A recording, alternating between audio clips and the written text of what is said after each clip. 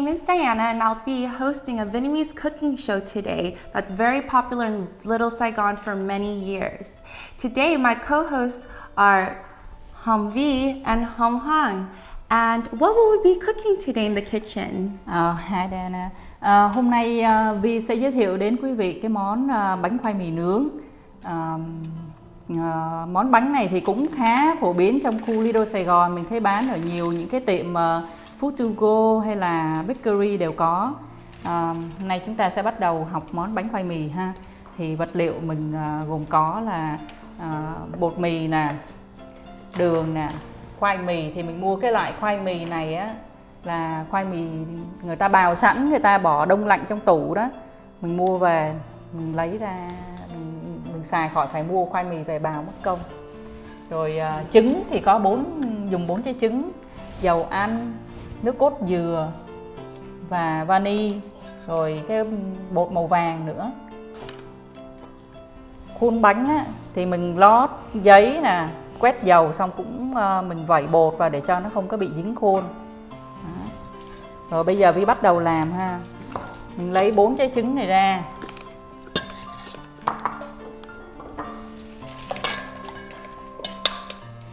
Trong lúc ờ, uh, vi đập trứng thì tôi ờ, đổ bột ừ, khoai mì vào nước thau có lót cái khăn đó tại vì cái khoai mì này mình để đông lạnh á, nó nó ướt nó có nước. Thành thử ra nếu mà để nguyên như vậy á, thì uh, thứ nhất là cái nước của nó cái nước của khoai mì nó cái mùi nó cũng không có ngon. Mình vắt đi để cho nó bớt cái nhựa khoai mì đi á. Thì uh, mình vắt cái nước đó đi thì nó, nó nướng nó sẽ mau hơn không thôi nước nhiều quá nướng nó lâu lắm. And Humvee, um, these other ingredients are such as the sugar, coconut, and oil look like you can find it in your local American grocery Yes. market. How about uh, the flour right over here? The flour is any um, supermarket like Vietnamese or American supermarket they have them all. Oh, great. Rồi dùng cái à, đồ đánh cái trứng cho nó tan cho nó đều ra nè. Mình chỉ cần đánh cho nó tan thôi chứ cũng không cần đánh cho nó nổi lên đâu. Đó, khoai mì bỏ ra vắt nước cho nó. cái nước của nó nhiều lắm mà nó không có ngon nó có nhựa Nó có nhựa khoai mì không có tốt, mình vắt ra thì cái bánh mình làm xong nó ví dụ mình để mấy ngày ăn nó cũng không có bị hư. Còn nếu mà không có vắt đi cái nước nó thì nó mau hư hơn. Xong rồi mình à, mình vắt xong rồi mình sẽ bỏ cái à, cái bột khoai mì này vào trong à, cái cái trứng mình đánh lên rồi nè. How long is this recipe that it takes? À, nó mất chừng khoảng à, một à, từ 30 phút cho đến một tiếng. Đúng ra thì làm thì trong vòng 20 phút là xong. Oh, Nhưng mà nướng thì cái nướng khoai mì này lâu tại vì mình phải nướng cho nó nó cho hết cái water ở trong nó mất hết cái nước bên trong đó thì nó mới chín được cái khoai mì nó thành thử it take about like uh, one hour. Oh, one hour. for baking. Sounds good. trong lúc đó thì mình uh, mình cân đường đi. Mình, uh, phải dùng hai cấp rưỡi đường.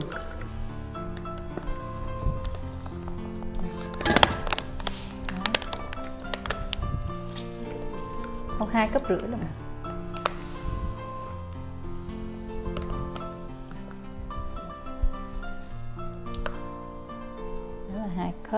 rồi thêm nửa cấp nữa.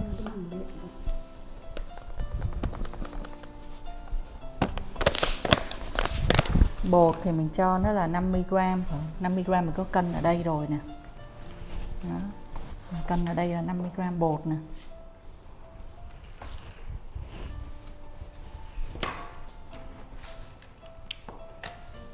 Rồi bắt vậy rồi rồi. Mình mới bỏ lại cái khoai mì vào trong cái cái à, cái tô trứng mình đã đánh cho nó tan ra đều hết rồi mình bỏ khoai mì vô lại.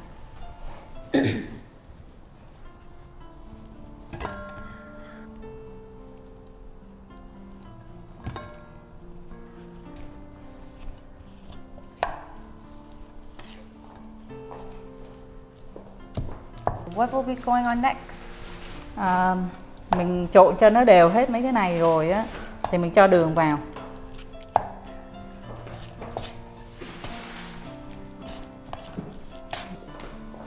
cho đường vào hai cốc rưỡi đường cho vào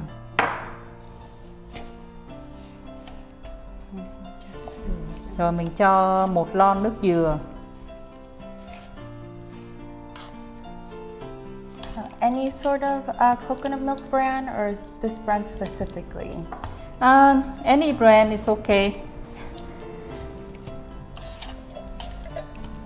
Mà nó có hai nó có nhiều size thì mình phải mua cái cái cái nước dừa này á, cái size nó là 14 10 13.5 uh, fruit ounce à. Nếu có cái loại chai cái cái cái cái lon bự á, thì mình không có dùng cái loại bự Nhiều bự đó, nhiều quá nhiều nước dừa quá. Mình bỏ thêm một chút màu vàng vô nữa. Cái này là food color á. mình bỏ vô một chút color màu màu yellow cho nó đẹp á. chừng sáu bảy giọt thôi quý vị Dạ, chừng 6 7 chóp thôi là được rồi.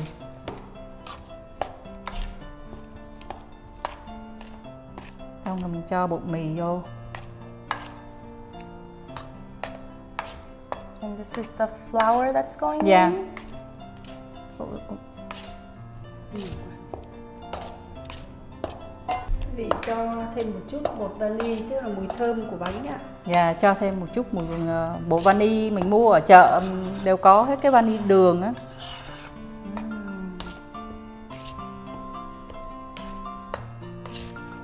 And the uh, special uh, ingredient that you put in, what is that exactly? That's vanilla.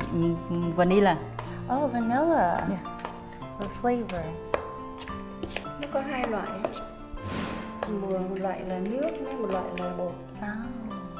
mà mình cho loại bột thì nó thơm hơn loại nước So after this stuff, uh, will we be baking soon? Yeah. Oh, wonderful. After we mix this uh, well and then we can bake. We're almost ready to eat. It takes about an hour for baking.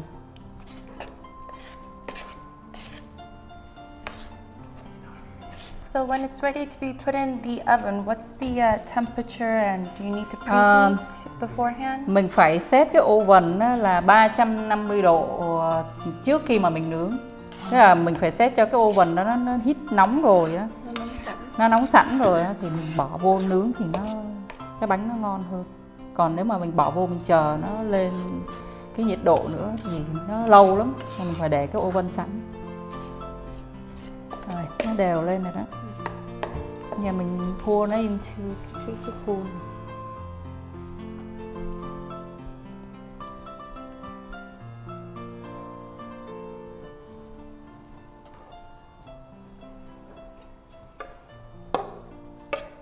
And two of these trays should feed about how many people? Uh, it depends. Looks Like- like it's all for me. You think you can eat them all? and tomorrow you have to work out the double or triple. It's okay, maybe leftovers. it's really good. Oh, I can't wait. It already smells delicious. It's not in the oven yet. Vậy rồi mình bỏ vào trong oven. It's ready to go in the oven.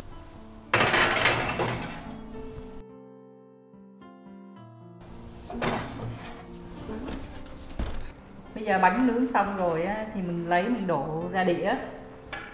Phải lắc ra. Oh wow, what time hả chị? Nướng xong thơm ha.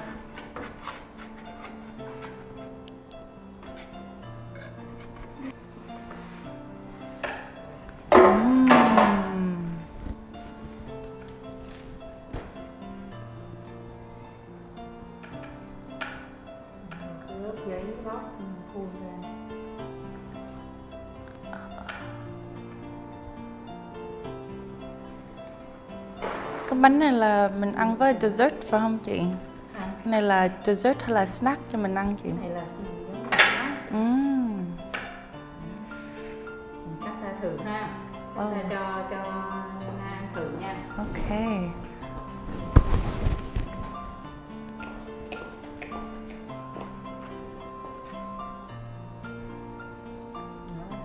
Cái màu ở trong đẹp quá hả chị? đẹp. Wow. Ở ngoài thì nó màu nâu golden mà ở trong nó màu yellow. Uhm, một cái nó còn thơm nữa. Uhm. Ở ngoài thì nó giòn mà trong nó mềm. Mà nó nhiều flavor hết chị. Quá ngon quá. ngon không khoai mì với lại dừa đó Thank you for joining us today on our Vietnamese cooking show with Hoa Vi and Hoa Han on our cooking channel. Thank you. cảm ơn quý vị xin cảm ơn